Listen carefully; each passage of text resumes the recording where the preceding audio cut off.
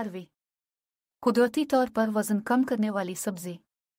इसका मिजाज और उसकी तासीर सर्द तर और देर से हज़म होती है।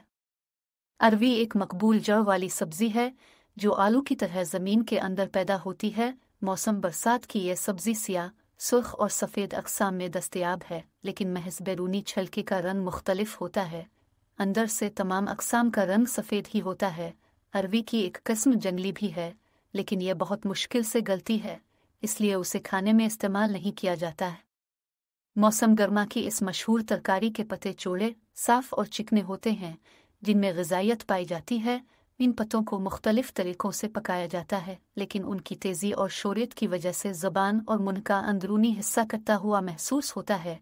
चूँकि अरवी के पत्तों की खसूसियत चुभने वाली होती है, लिहाजा इसे इमली के साथ आबालना चाहिए, ताकि उसकी तेज़ बो ख़त्म हो जाए।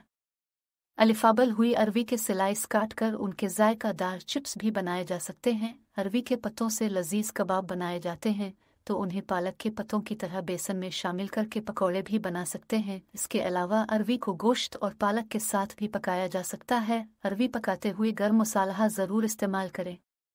अरवी में कई मुफीद गजाई अज्जा पाए जाते हैं। इसका मिजाज और उसकी तासीर सर्द तर और देर से हज़म होती है। फरबही माइल अफराद के लिए अरवी का इस्तेमाल इसलिए मुफीद साबित होता है कि उनके वज़न में नुमाया कमी वाक़ हो जाती है, क्योंकि नशास्ता और रेशा पूरी तरह हज़म नहीं हो पाता है, इसलिए वज़न बढ़ नहीं पाता है। अरवी निज़ाम हज़म को तकवीत पहुँचाती है। इसके इस्तेमाल से अंतलियों में मौजूद मुफीद बैक्टीरिया की अफजाइश बढ़ जाती है।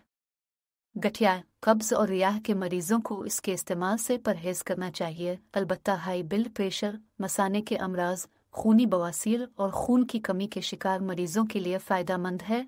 अरवी जल्दी अमराज में भी शिफा का बायस बनती है और जल्द की खुश्की और शिकने दावर करती है। किसी जल्दी मर्ज खून में खराबी पैदा हो जाने के सबब बाज औकात जेर जल्द गिल्टियाँ और गांठें बन जाती हैं। इन गिल्टियों को घुलाने के लिए अरवी मुफीद है।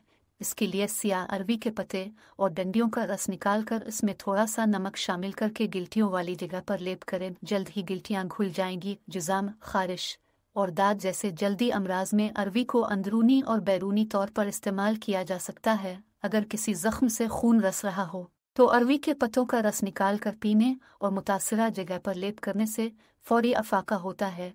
अरवी में मौजूद एंटी एंटीऑक्सीडेंट्स